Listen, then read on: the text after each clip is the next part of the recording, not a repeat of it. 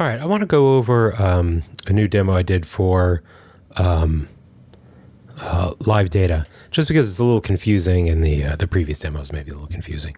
So this is called FilterClock, and it's it's you know it's pretty simple. It, it just has this uh, recycler view with you know our list of albums, and then there's this button, and when you click it, um, oh look, only the good. It says only good. It, it filters the list, so only the good albums are there.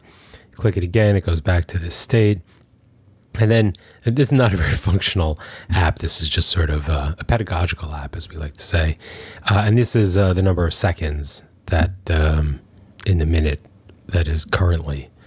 Um, okay, not not too uh, expressive today. So, and then you know it's got the the standard sort of. Um, this this is a uh, standard um, recycler view adapter that I just uh, uh, reused.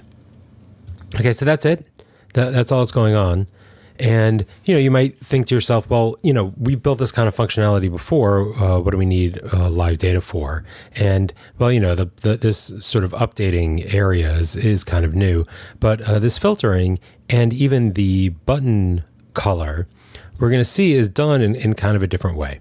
So let's uh, let's say goodbye to this, and let's let's just take a, a quick look at the easy things. Let's take a, a quick look at um, our you know main layout, which is just uh, what you what you expect, uh, which is um, oh, great um, a um, oh uh, sorry this, the main layout is just is just a fragment and then the fragment layout is um, the button and the um, uh, seconds, and then a recycler view for the rest of the of, of the space. So you know everything we've seen um, for the row. uh, you know we, we have the same row. I changed the emoticons. I tried to get like more reasonable emoticons, and the whole the whole thing sort of shows up in this little bit sort of like colorless uh, theme. I, I, don't quite know why I, I, generated a new theme and it it had like zero color. Okay, so there, there's there's very little going on in the uh, in the layouts. Um, there's uh, not that much going on in the navigation graph. We just have a, a fragment. So you know, I just I did that also mostly for pedagogical reasons.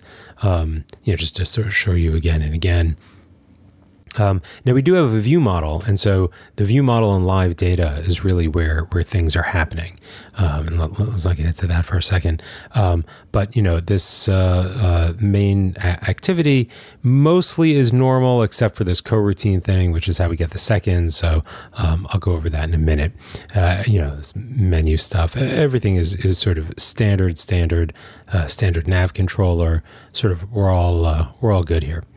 Um, Yeah. Okay. Uh, so let's actually take a look at the uh, fragment. And the fragment does the same binding thing that we always do, and it does grab the view model. Or you know, let's let, us let us take a look at the view model. So the view model, uh, it holds our state, and then it exports live data, and that's that's really the idea. Is that um, it knows it, it, it is the ultimate authority on what the state of our app is, and if you want to know what the state of the app is, you need to observe some live data. Um, and we have one piece of live data here, which is the list of uh, of albums. Okay, and that that that was the thing where before we always just sort of got it from the repository, but now we're filtering it, and so we're wrapping it in this live data, and it's mutable live data because we do change it. And if people want to observe it, uh, clients want to observe it, views want to observe it, they get a live data uh, object, and they get a live data object even though the underlying object is mutable. And this is uh, uh Kotlin does the cast for you, and uh, even though inside the view model we can change this object, outside the view model you can't. And that's that's good sort of engineering practice. So this is just a list of data. And then there's also a, a Boolean that we have. And we also have live data Boolean. And this is a little bit weird because up to this point, the view has sort of been keeping track of the state. and sort of changing its color based on the state. And that's that's been fine. But we now really want to put the data in the view model, and that includes uh, even the state of the um, the good filter toggle. So uh, I should maybe call this only only good. Um, no, whatever. Because that, that that seems a little more expressive. And we're doing the same thing. This is mutable here, and when you observe it, you only get the read-only version. And then uh, we, we have a, a public uh, function here, which is just toggle. So you don't even get to know what state you're in. Um, but when the user presses it, uh, they um, they toggle it. And so that's all that the view model has to expose is a toggle function. And then if you care what the state is, uh, you um, um, subscribe to you, you observe the live data. And so just let's just look at this one thing because we've implemented this kind of button before. And now we're implementing it in kind of a totally different way, even though the functionality is the same. And it's kind of a good way of, of wrapping your head around live data. So let's just look at this button, okay? And ask yourself this question. in the view, when I set an on click listener on that button, what is that on click listener going to do? Is that on click listener going to change the background color? The answer is no. That on click listener is going to call toggle filter good. Okay, so let's uh, let's take a look. So blah blah blah blah. We set up our um, uh, recycler view just like we just like we always do. And here we go. Only good is the name of of this button, and the on-click listener just toggles the state of uh, filter good, uh, let's say, God, toggle, uh, toggle, only good. Okay. So, how do we change the color of this button? Oh, let's look here. Uh, we also, in addition to setting this on click listener, we also set an observer on some live data that we get from the view model. So we want to observe only good. We call observe, we pass it the view lifecycle owner, which is uh, a sort of a global variable you get within the fragment that just says like when my fragment dies, get get rid of stop observing. And what we get to observe is changes in this Boolean state. And then we say, hey, if this Boolean is true, let's set the background color to green. And if it's false, let's set it to red. okay, so here you see we used to sort of put this logic in the set on click listener. And look, sometimes maybe you have to do that. But if we really want to put all the state in the view model, the view model knows whether we're filtering for only good. And then the view model tells us if we should be filtering for only good, and then we take action based on that. And this, that's the same uh, situation with the list. So, you know, normally we would sort of grab the list and then uh, submit it to the adapter. But here we're observing the list from the view model, and only when it changes do we submit it to the adapter. So this is quite, this is um, uh, a simple, uh, you know, anytime the list changes, we just, we just send it to the adapter. Now, the, the one sort of thing that we do have to do here is if we don't initially submit uh, an entire list and we run this, uh, there's no there's nothing in the recycler view. And then as soon as we start filtering, oh, the recycler view gets fill, uh, filled in. Why is that? Because without this, we're waiting for a change. And when the app starts, there is no change. Um, you know, you could uh, you know you could have a view model like a view model method saying initialize your list or something, uh, but there's no change that's happening. So uh, we have a, a, a call here to initialize the adapter to the entire list. That's why we see the entire list. Know, this this yeah, I mean, you know, this is sort of software engineering, but you know, you could argue that uh, instead of doing this, we should have something like, um, you know,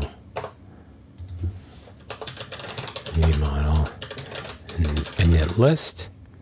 And uh, let's go in here and we'll have a and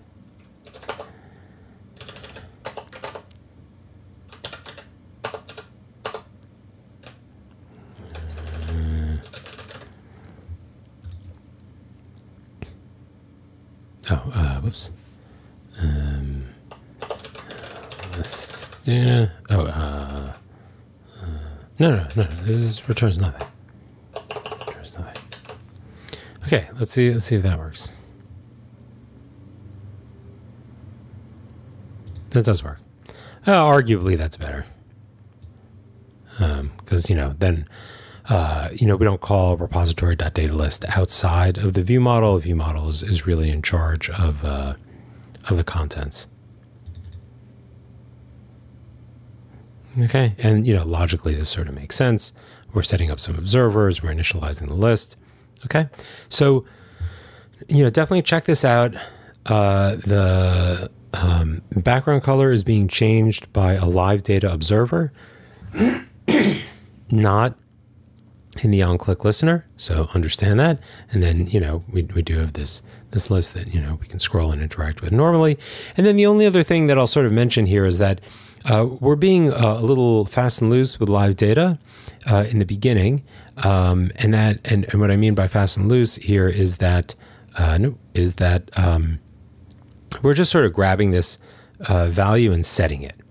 And the, the great thing about live data is that you can have multiple threads in your application that are accessing live data, but only threads that are on uh, only the main thread can access the value directly. So you might not totally understand this. We haven't talked that much about threading, but we're going to talk a little bit about it. And uh, the um, sort of important thing you need to know is there's the thread that's in charge of the display. That's the main thread, and it needs to be very fast. And then there are other threads. now, Android gives you I/O threads and it gives you background threads, um, but those those are both background threads, but they're it's a sort of hint to Android as to what kind of thread they are. So what I what I'm doing here is in main activity, I'm starting a background thread, and we've seen this in the homeworks if you if you've been paying attention. So this just says uh, launch an independent uh, coroutine, independent thread, and at this point, we're not even saying what kind of thread it is.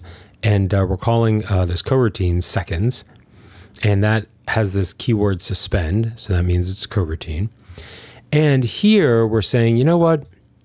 Let's execute this on a background thread. Now, if this were uh, dispatchers dot main, that would be on the main thread. So there's, you know, main IO and unconfined. So you can read about that. But uh, we're going to put it on the background. And then uh, while this thread is active, every uh, one fifth of a second, it is going to uh, call this uh, function in the view model to set uh, the set number of seconds. So we're calling, we're getting an instance of calendar, and we're getting the the second, the current second and we're just formatting it and then we're sending it to our view model. And so there's this background thread that's constantly calling the view model, telling it how many seconds have passed or what the number of seconds is currently. And when we look at this, um, when we set it, we actually have to call post value. But we have to call post value because we're calling this on a background thread. So if we don't do this uh, and we run, uh, we get we get very unhappy soon. Hello. Oh, oh, uh, I'm so unhappy that um, I didn't even realize how unhappy I was. Um, and that is uh, here. Um, so, oh boy, this is uh, really terrible. Um, uh, illegal state exception cannot invoke set value on a background thread. Okay, so again, the you know the error messages are are, are excellent, but you know we can't just uh, uh, calling post value is really the safe way to manipulate live data. Okay, because it might it might be coming from another thread. But hopefully, and then you know this this is just the this filter list is just um, you know, going through the uh, data in the filter, and if the only good um, filter is active, if, if this value is true, then we check the rating, and only, and if the rating is not good, then you know we filter it out. And if the rating is good, uh, we let it through. That's how we actually get this. Um, that's how we get the uh, the only good behavior here. Filtering it filters out the, the rest of this list, and when we um, when the only good filter is false, we uh, we don't filter anything. We just return true for all of our calls to this filter function, which returns all of the elements of this list, which is all of the elements in the repository, which is this entire list of albums. So this repository is quite simple. It's the same thing we've seen. In, in this case, I, I, just I just grabbed the I made the, I made the data list public and grab it. Okay, so hopefully this sort of shows you what's going on with live data, and that now uh, we're trying to keep all our state in the view model, and our views are are observing the live data that's coming out of the view model. All right, thanks.